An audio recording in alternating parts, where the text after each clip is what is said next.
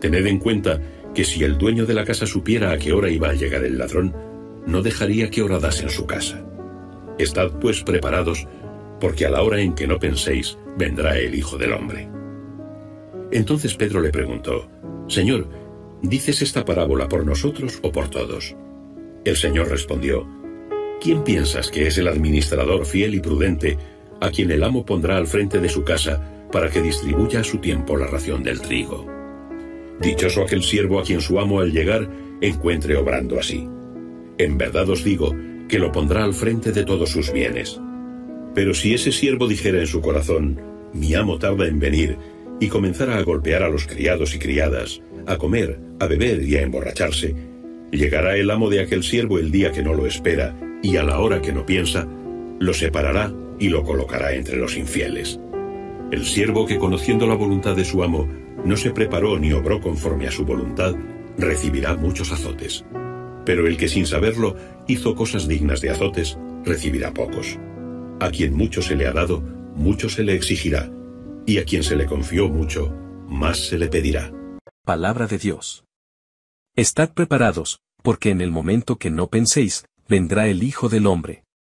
Por Red de Josep Lluís Osías y Bruguera. Badalona, Barcelona, España. Hoy, con la lectura de este fragmento del Evangelio, podemos ver que cada persona es un administrador, cuando nacemos, se nos da a todos una herencia en los genes y unas capacidades para que nos realicemos en la vida. Descubrimos que estas potencialidades y la vida misma son un don de Dios, puesto que nosotros no hemos hecho nada para conseguirlas. Son un regalo personal, único e intransferible, y es lo que nos confiere nuestra personalidad. Son los talentos de los que nos habla el mismo Jesús, Mateo 25,15, las cualidades que debemos hacer crecer a lo largo de nuestra existencia.